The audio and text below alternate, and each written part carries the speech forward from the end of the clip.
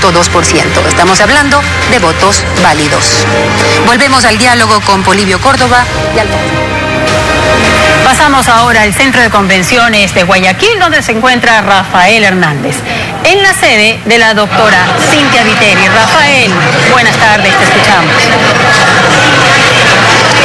Teresa, buenas tardes. Se espera, según nos acaba de indicar el equipo de prensa de Cintia Viteri, que en muy pocos minutos ella salga ya para hacer un pronunciamiento frente a los resultados que ya hemos expuesto. Como pueden ver aquí están los eh, simpatizantes y también varios de los eh, candidatos a las diferentes dignidades, precisamente también acompañando y esperando que la candidata salga. Sabemos que ella está en un salón contiguo acompañada del alcalde de Guayaquil, Jaime Nebot, y de su compañero de fórmula, Mauricio precisamente eh, para eh, dentro de muy pocos minutos dar su reacción, su pronunciamiento oficial eh, ante estos resultados de exit poll que básicamente la dejarían fuera de posibilidades de entrar a una segunda vuelta. En todo caso, como vemos aquí, pues hay mucha expectativa también de parte de los periodistas de los diferentes medios de comunicación que también están esperando escuchar lo que diga la candidata Viteri.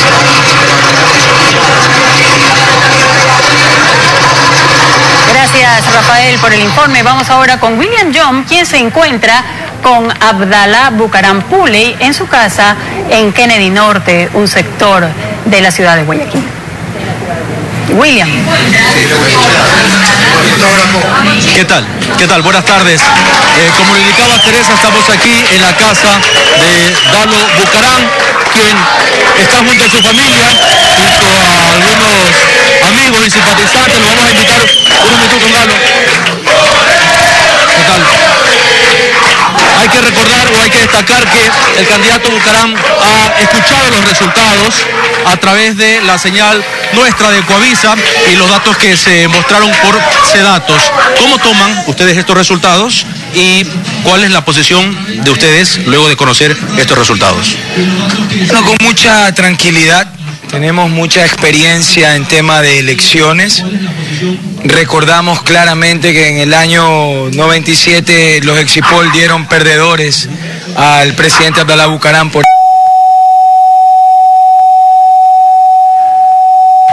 Gracias, William. Se ha caído la microonda. En algún momento podemos regresar con las declaraciones de Abdalá Bucarampule. Y hasta tanto, vamos a seguir revisando datos con Marisabel de Leve. Marisabel.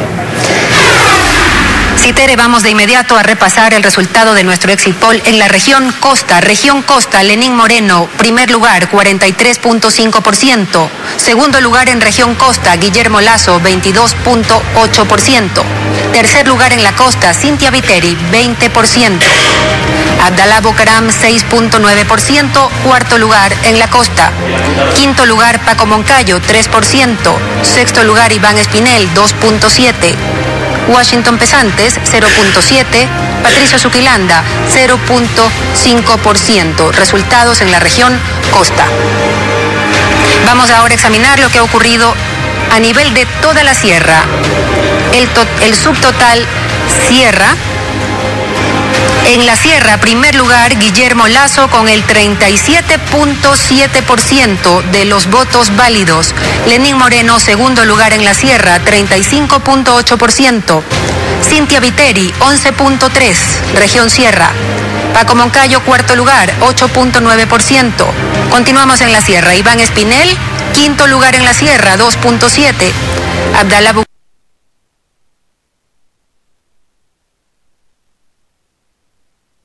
En la costa, pues Lenín Moreno tuvo 43.5 frente al 22.8 de, Lazo. Realmente una votación bastante importante. En, la, sierra, en, la, costa, En la, en, la sierra, eh, pues eh, tuvo 37.7 Lazo casi cerca de la Amazonía. O sea, una, una, una experiencia distinta de lo que hemos visto en elecciones anteriores. Pero también eh, se ve, pues, es interesante analizar cómo es lo que votó la, población, el, electorado por, eh, por, provincias. Y si analizamos, por ejemplo, ¿dónde, ¿de dónde es lo que surge más la votación de, de Lenin Moreno? Y vemos que surge especialmente de Manabí. De Manabí. 52%. ¿A qué atribuir? A la obra de restauración la que obra se de hizo restauración, después del terremoto. la campaña sumamente grande del gobierno, día a día, hasta cuando ya estaban cerradas la- la- prácticamente las campañas.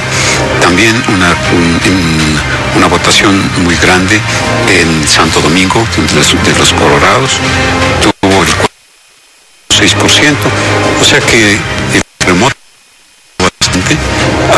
gobierno para que pueda entonces hacer una campaña de servicios pues ofrecidos y entregados.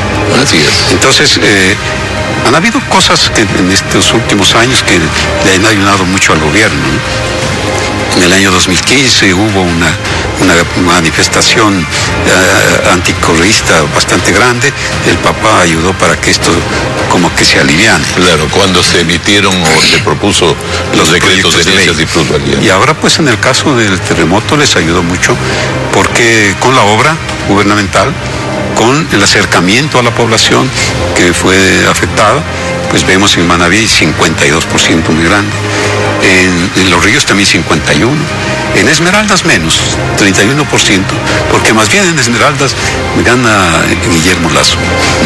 Entonces, eh, pero también una provincia afectada fue pues eh, Santo Domingo de los Colorados, donde Moreno tiene 40.6% frente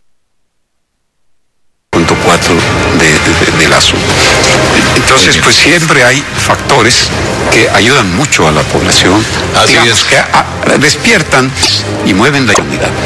Así es, y vamos a ver si o cómo se proyectan. Vamos después de un corte comercial, continuaremos luego.